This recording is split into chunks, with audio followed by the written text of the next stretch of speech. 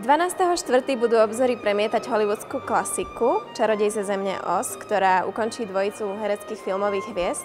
Rozprávať sa budeme o klasickom Hollywoode a hviezdnom systéme v ňom a našim špeciálnym hostom bude Šarka Gmiterková z Ústavu filmu a audiovizuálnej kultúry.